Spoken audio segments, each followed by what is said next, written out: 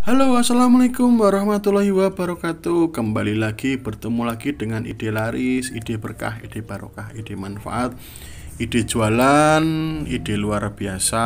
Pokoknya bahannya sederhana Hasilnya sangat luar biasa. Di video kali ini aku aku membuat telur mata sapi, dok ceplok, telur ceplok model bintang 5 hotel bintang 5 yuk langsung kita membuat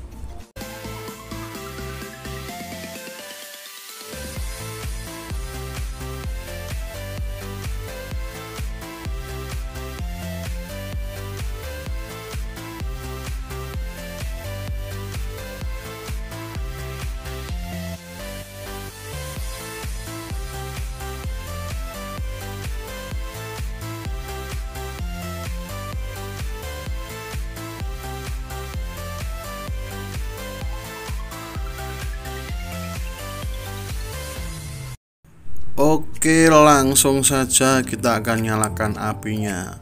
Apinya itu harus kecil Kecil Kecil banget. Pokoknya kecil Kecil rata ya Kecil aja rata. Nah paling tidak itu seperti ini ya.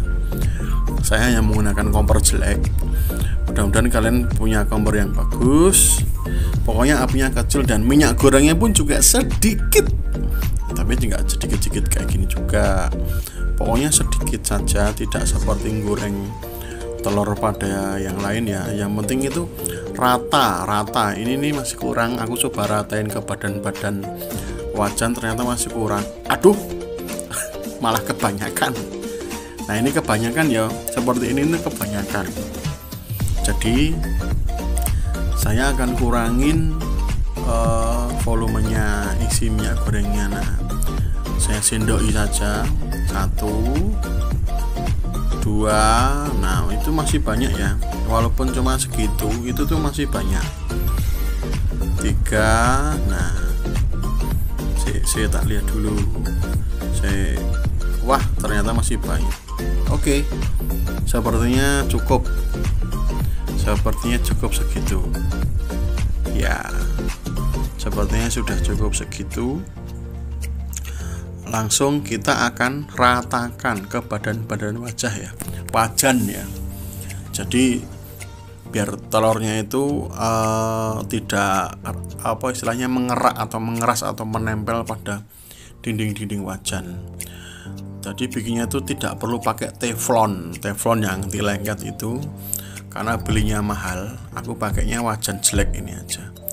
Naruh telurnya itu sangat pelan-pelan ya hati-hati sekali pelan-pelan sekali. Ya ini sebenarnya aku kurang pelan. Kalau dipelanin lagi itu uh, kuning telurnya itu akan tepat berada di tengahnya. Pakai wajahnya juga harus yang cekung ya jangan yang lebar itu. Nanti akan melebar ke mana-mana. Uh, bagi yang suka pakai rasa silahkan boleh ditambahin garam. Secukupnya tidak asin banget ya saya pakai dua jumput kecil tak tambahin garam kemudian aku kasih juga sedikit MSG atau micin ya. Micinnya sedikit aja. Saya termasuk penggemar micin. Karena dari kecil itu kalau tanpa micin tuh kayaknya kok kurang sempurna gitu ya. Bagi kalian yang tidak suka dengan MSG micin cukup uh, telur sama garamnya saja atau telurnya saja boleh.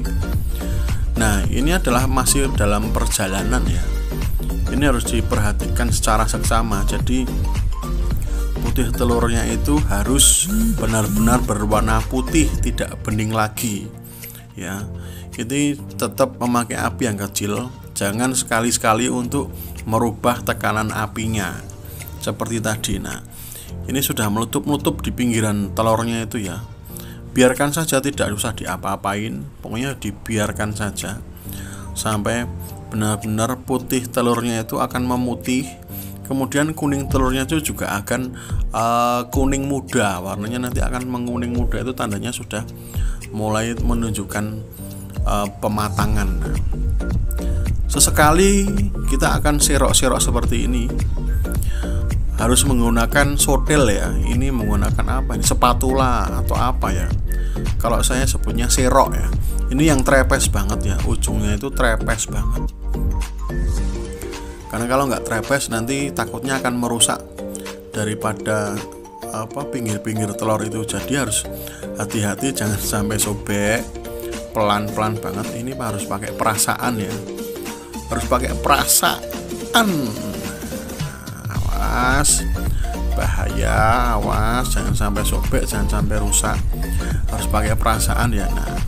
Paling tidak seperti ini ya tidak ada kerak. Walaupun walaupun ada kerak itu cuma sedikit banget ya. Seperti itu. Nah kita angkat kita pindah lagi. Nah sambil dipuk-puk seperti ini ya.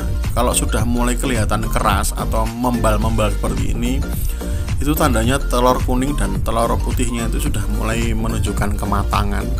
Ini saya kira masih setengah matang ya.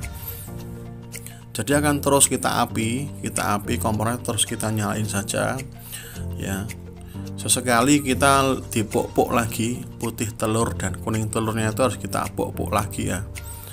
Nah kalau sudah terlanjur naik ke atas gini ya sudah kita puk-puk lagi kita popo lagi. Ini memang perlu kehati-hatian ya. Ini nggak usah belajar di pendidikan pariwisata. Kita sudah bisa membuat sendiri ya. Tanpa teflon anti lengket cukup pakai wajan saja. Ini benar-benar bisa untuk topping bisa untuk burger bisa untuk topping indomie bisa untuk langsung dimakan dengan nasi. Ini anak-anak pasti suka yang seperti ini. Apalagi anak-anak penggemar telur itu pasti suka dengan telur yang seperti ini. Cantik banget warnanya ya. Seperti ini anak-anak pasti suka.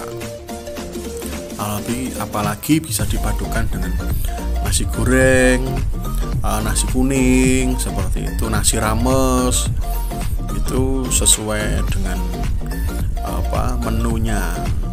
Ya, topping seperti ini. Nah sudah menunjukkan pematangan ini. Uh, akan saya angkat saja. Ini sudah anu matang. Menurut saya sudah matang ya. Nanti kita akan cek kematangannya itu seperti apa. Nah aku punya nasi kuning ini. Akan aku taruh di tengahnya. Nah mendarat sempurna ya sobat laris ya seperti ini tuh telur mata sapi ya ini akan aku orek-orek kuning telurnya nah, nah paling tidak seperti itu ya meletre bosku ya Terima kasih sudah menonton video ini. Terima kasih yang sudah like, komen, dan subscribe. Panjang umur orang-orang baik, panjang sehat orang baik. Ketemu aku lagi di video berikutnya. Assalamualaikum warahmatullahi wabarakatuh. Cus.